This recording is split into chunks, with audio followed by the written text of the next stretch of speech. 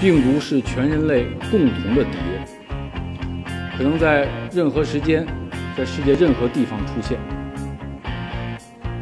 中国同其他国家一样，都受到了病毒的攻击，是受害者，不是加害者，更不是病毒的同谋。面对重大的公共卫生危机和传染病的威胁，国际社会应当团结协作，同舟共济，而不是相互指责，甚至叫嚣什么。追责索赔。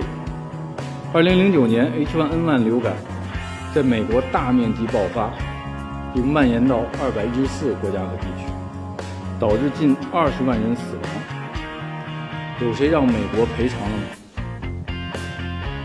上个世纪八十年代，艾滋病首先在美国发现，并且蔓延至全世界，不知道给世界上多少人造成痛苦。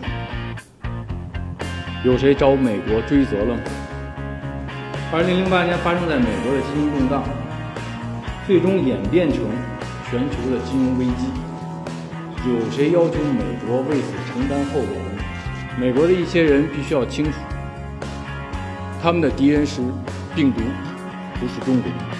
一味的攻击抹黑他国，不能挽回浪费的时间和逝去的生命。